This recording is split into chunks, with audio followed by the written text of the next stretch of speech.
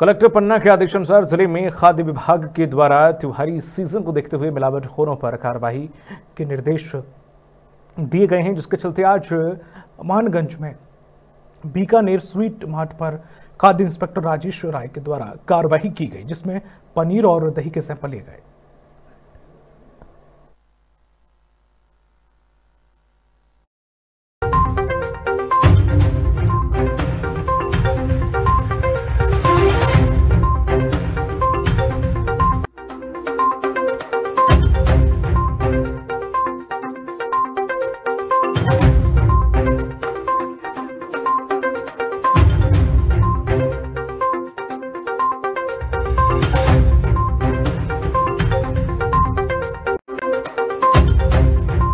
वर्तमान में संपूर्ण मध्य प्रदेश में जी सर।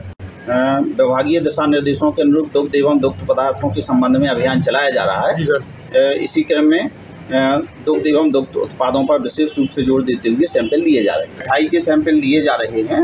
ऐसा नहीं है कि मिठाई के नहीं लिए जा रहे हैं। अभी हाल ही में जब मिठाई के सैंपल लिए गए हैं और निकट भविष्य में जैसे ही अभियान दुग्ध एवं दुग्ध उत्पादों का खत्म होता है तो पुनः सैंपल लिए जाएँगे और कहीं कोई ऐसी गड़बड़ी अगर मिलती है तो निश्चित रूप से उस पर कार्रवाई आपका नाम सर?